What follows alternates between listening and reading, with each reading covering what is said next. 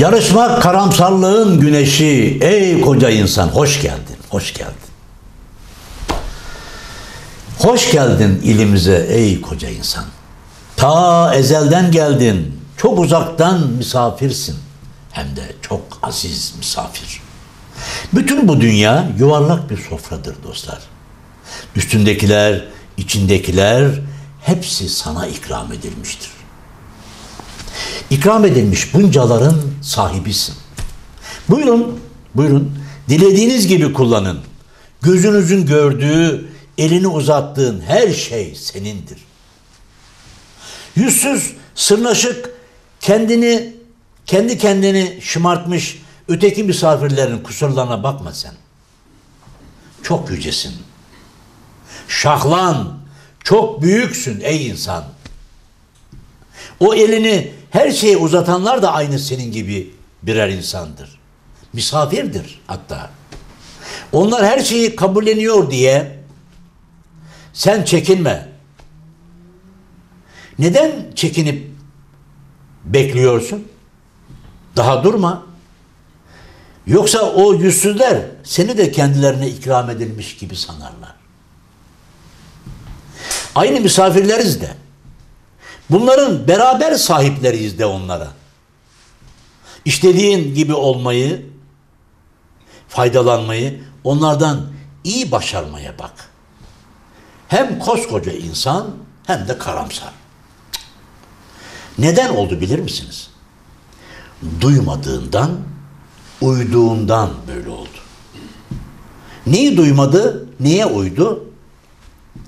Gerekse açıklayalım. Gerekse peki insan kendi içindeki ben de onlar gibi insanım iddiasını duyarsa öyle yapar, mutlu olur. İçini duymaz da ortamın havasına uyarsa karamsar olur.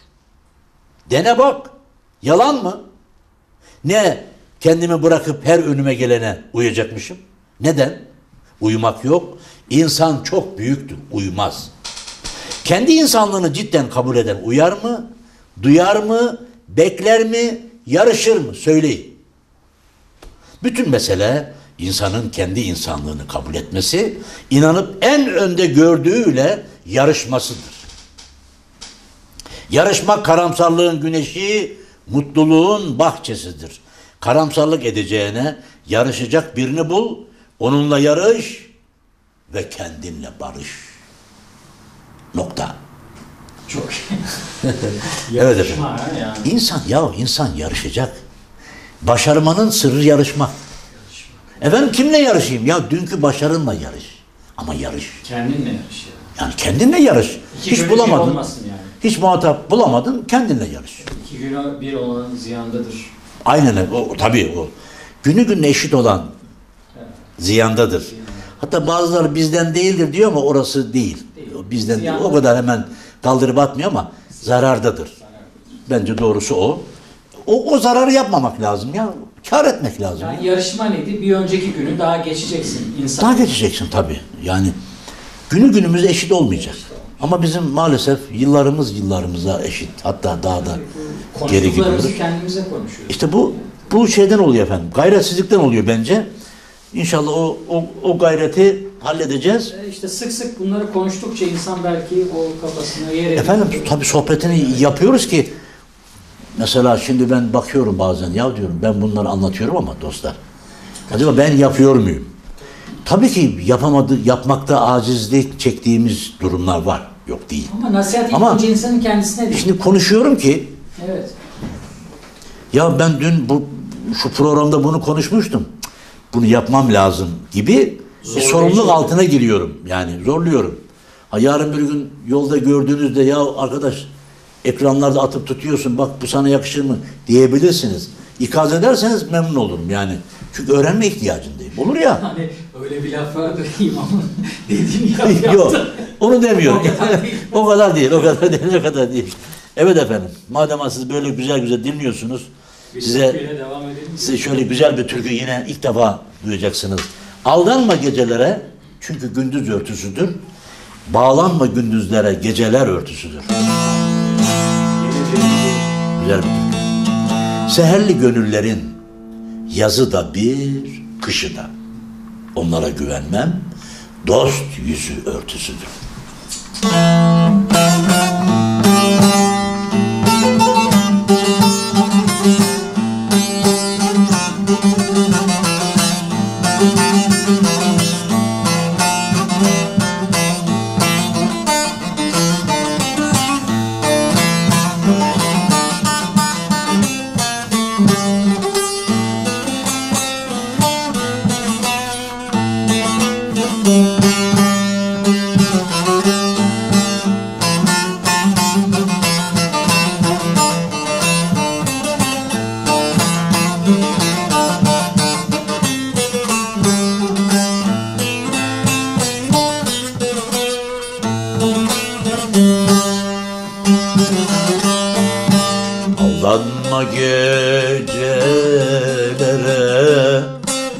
Çünkü gündüz örtüsüdür.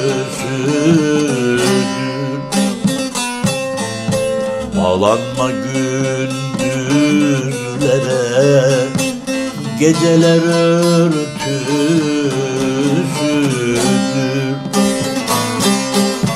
Seherli gönüllerin Yazıda bir kışda Seherli gönüllerin Yazıda bir kışda Onlara güvenmem Dost yüzü örtüsüdür Dost yüzü örtüsüdür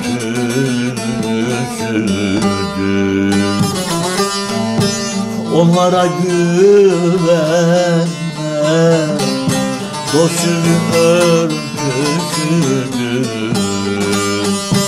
Dost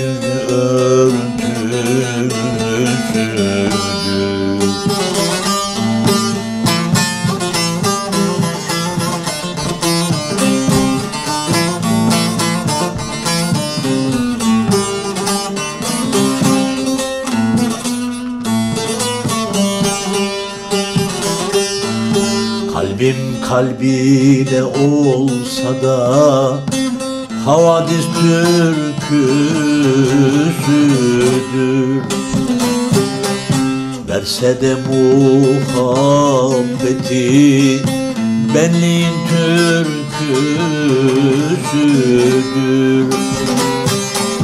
Dosta dostluk edebilmek Ayağda başına Dostla dostluk edebilmek Ayağda başına Canda canan bulup da Hep onun örtüsüdür. Hep onun örtüsüdür. Canda canan bulup da Hep onun örtüsüdür Hep onun örtüsüdür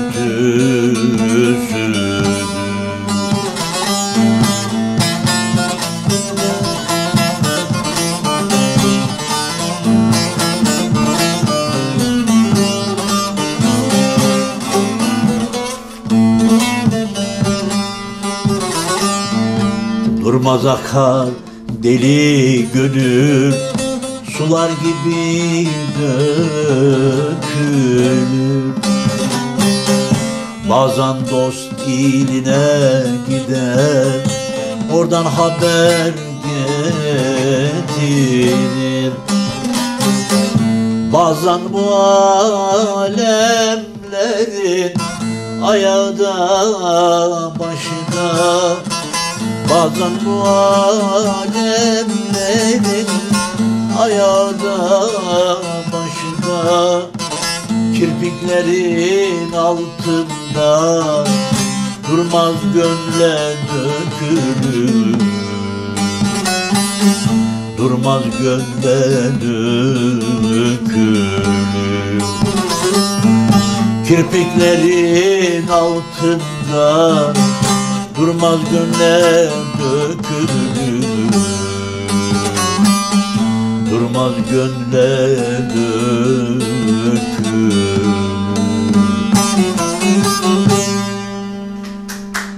Nasıl bir türküymüş bu böyle ya? Çok derin yani. Her söylediğimde ben evet bir şey daha böyle götürüyor adamı yani. Kirpiklerin altından durmaz gömlek dökülür. Bakış var ya bakış. Ya çok güzel. Oh, çok vallahi güzel. çok anladım. Yani bir derya bu türkü yani. Evet efendim türkülerle her şeyi anlatıyor. Bir de şey var bilemiyorum yönetmenimiz ne diyor kaç dakikamız var ona göre kendimizi ayarlayalım. Efendime söyleyeyim. Çünkü mümkün mertebe öyle karar aldık. Günlük 15 dakikayı geçmemeye çalışıyoruz ki.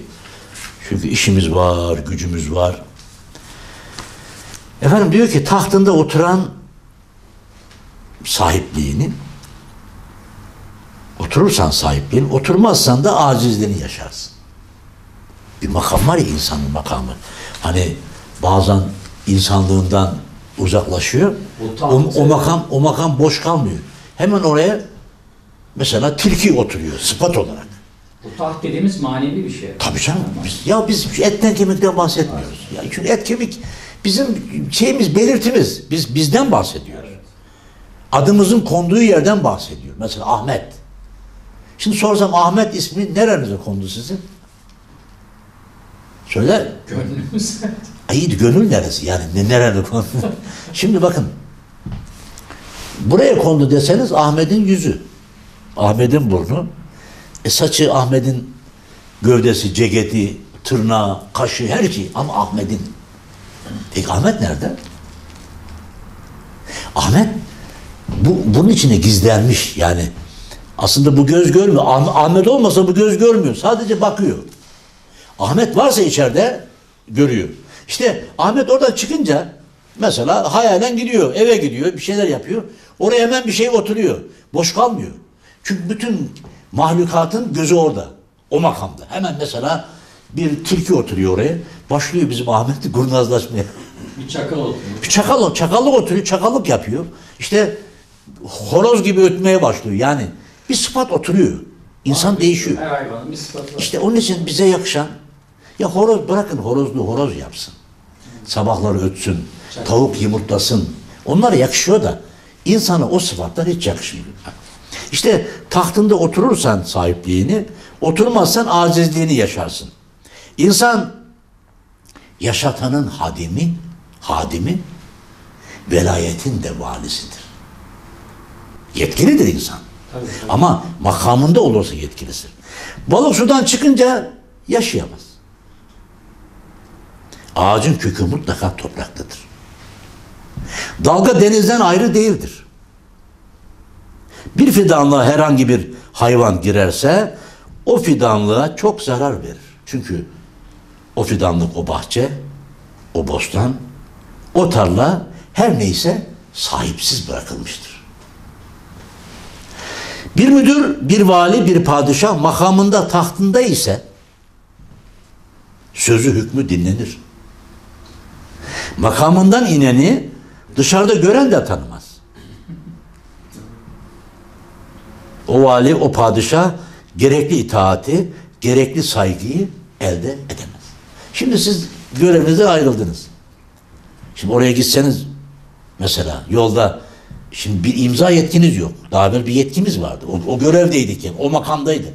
Ne oldu? Belli bir zaman olduğu için artık dinlenelim dedik ayrıldık. Şimdi siz aynı emri verebilir misiniz? İşte demek ki o makamda olmamız gerekiyor. Diyoruz. Ve bugün de yine herhalde sizi fazla yormayalım. Bir türküyle bitirelim. Öyle mi? Siz istiyor yani. Abi türkü istiyor yani. Tabii canım o, o şimdi şıkıdım şıkıdım ister de biz efendim bu program dinleti programı malumunuz. Ee, dinleti programında biz ne yapıyoruz? Dinlendiriyoruz. Oynatmıyoruz yani. Oynatmıyoruz. Şimdi siz biraz evvel dert dedik ya hani gene bir diyor ki derde derman arar edim. Derdim bana derman imiş. Çok Ben gayrıda arar iken can içinde canan imiş.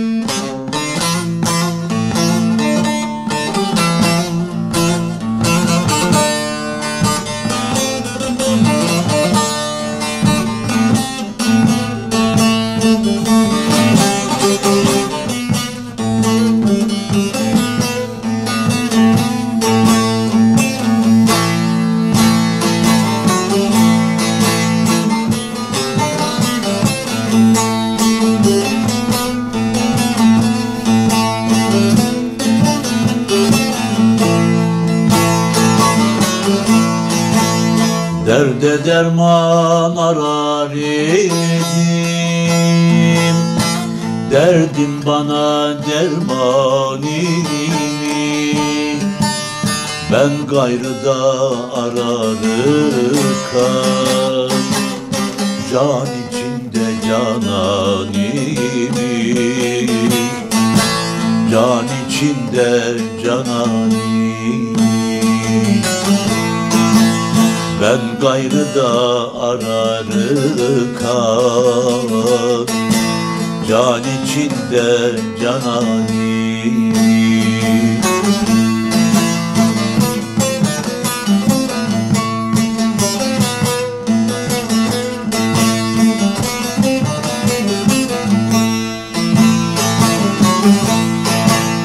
Bülbül oldum ağlar ben gülümü dedem diye Engel olan dikenimi Can gülünde görmeye Canda gülümü dermeye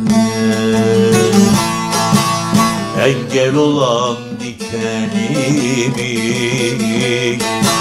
Canda gülüm dermeye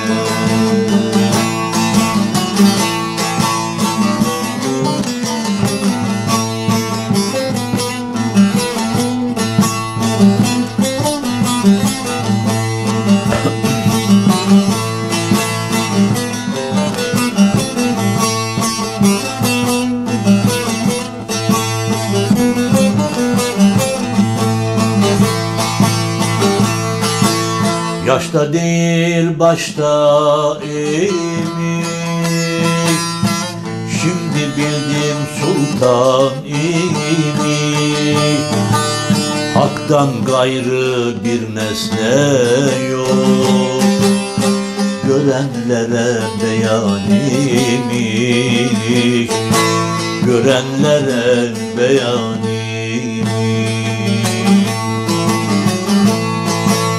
Hak'tan gayrı bir nesne yok Görenlere beyani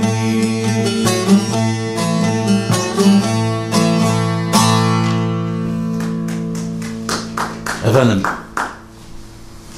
bütün türküler, bütün sohbetler hep bize anlatıyor. Bizim biz olmamız gerektiğini anlatıyorlar. Evet, biz de karar verdik inşallah. Bu programda biz olacağız. Efendim bir programın sonuna daha gelmiş bulunuyoruz herhalde öyle görünüyor. Tekrar saygılar sunuyorum. Bir dahaki programda görüşmek üzere efendim.